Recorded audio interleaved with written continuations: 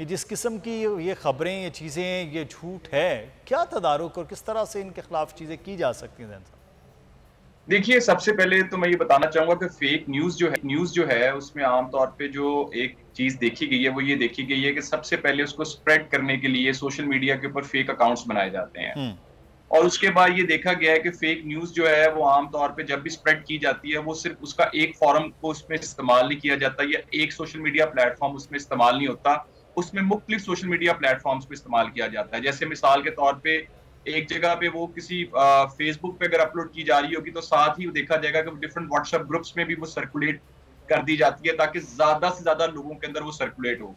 हम्म। और fake news में सबसे बड़ा इशू ये आता है कि लोग जो है वो उस खबर को वेरीफाई करना नहीं सीख पाते कि इसको वेरीफाई कैसे करना है। और इस वजह से होता ही है कि आमतौर पर लोग ऐसी चीज़ों के ऊपर यकीन कर लेते हैं जिसकी वजह से आमतौर पर यह देखा गया कि बाज एग्ज़ाम्स लोगों के कैंसिल हो जाते हैं। बाज ये देखा गया है कि जो है वो ऐसी भी फेक न्यूज़ स्प्रेड कर दी जाती है जिसमें ये कह दिया जाता है कि आने वाले दिनों के अंदर जो है वो कोई नेशनल हॉलीडे आने वाली है। इसी तरीके से फेक न्यूज़ मुख्य किस्म की जो है वो आ, ये देखा गया अच्छा, है कि ये स्प्रेड तो आप जो बात कर रहे हैं जैन साहब ये बिल्कुल हो गया। अब कोई फ़र्द वाहिद होता है तो उसके खिलाफ तो कोई बंदा उसके कार्रवाई हो गए।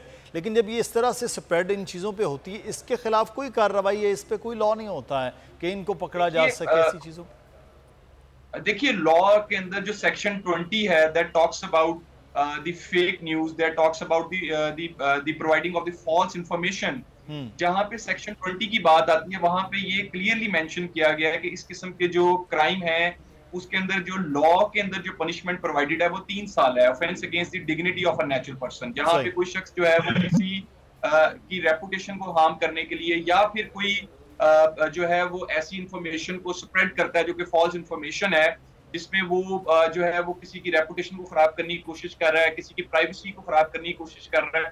तो इस तरह की जो न्यूज़ होती है उसके हवाले से लॉ जो है वो मौजूद है। सही। तो ये अब लोगों की भी बड़ी ज़िम्मेदारी है कि ख़ासतौर पर जब कोई फॉल्स न्यूज़ चलती हैं तो उसको परखना, उसको क्रॉस चेक करना जहाँ मीडिया में होता है, लेकिन सोशल मीडिया बहरल उसमें उस तरह से चेक अगर आपको ये वीडियो पसंद आई है तो सब्सक्राइब कीजिए और बेल आइकॉन को प्रेस कीजिए। अदलो इंसाफ की बात सब करते हैं, पर हकीकत में सच के साथ निडर होकर खड़े रहने की ज़रूरत नज़र नहीं आती। बोल ने तश्कील दी दस कोर्ट रिपोर्टर्स की टीम, जो केस की बेस तक जा पहुँचे।